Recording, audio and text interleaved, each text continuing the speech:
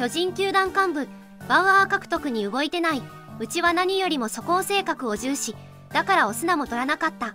球団幹部の一人はうちはバウアー獲得には動いていない。外国人に関しての方針は能力の前にまず性格や素行を重視する。結果的に不起訴になったとはいえメジャーで出場停止処分となった事実は変わらない。同じ理由で現ソフトバンクのオスナの時も獲得には動かなかった。と説明。さすが大正義巨人軍。やっぱり前科とか必要ですか？翔さん無実だった。外国人に関しての方針はって書いては時点で日本人はそこを不良でも構わない言うてるようなもんや。言ってることめちゃくちゃで草生えるわ。ほならバワー確定やないんか？ジョークもいける巨人。重視した結果がスモーク取るようなことになるのか？もともと巨人にいる選手はまあ置いておくとしても最近でもな方とかを声を取っているのにな。